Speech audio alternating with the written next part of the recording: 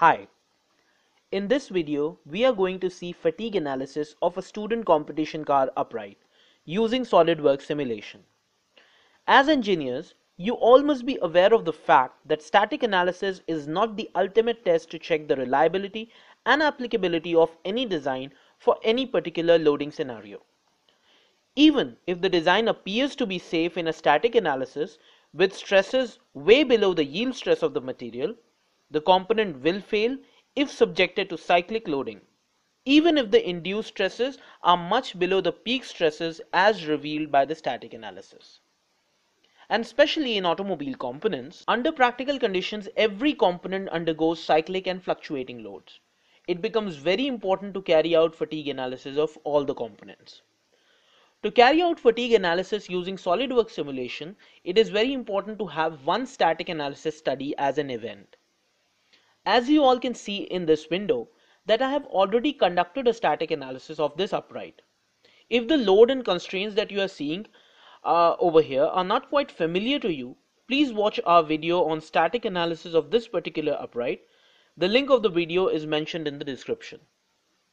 For this fatigue analysis, I have applied a vertical load of 1500 Newton, lateral force of 1500 Newton, and a longitudinal force of 1500 Newton all together on the upright. These values are less when compared to the loads actually applied for a static analysis, but are good enough to simulate the maximum cyclic load that can be applied on the upright while operating. After executing the static analysis, select a new study and select fatigue analysis.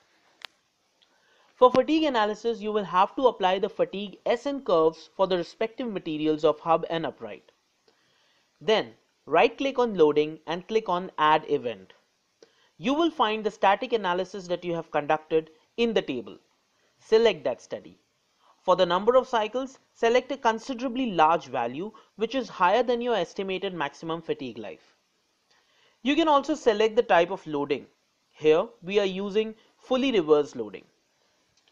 After entering all these values, click on Run. The fatigue analysis is executed and the damage and life results are obtained. As you can see that the minimum total life of the design is 10 to the power of 6 cycles, which is considerably good. We must also remember that we have applied all three orthogonal loads at the same time to simulate a worst case scenario, whereas in real life we may never have such a scenario at any point of time.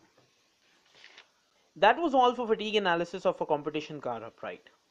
We will be posting more videos on various topics for student competition car teams. So please subscribe to our YouTube channel and like us on Facebook. For video requests on any topic or any queries, please post your comments or write to us at tinsiracecars at gmail.com. Thank you.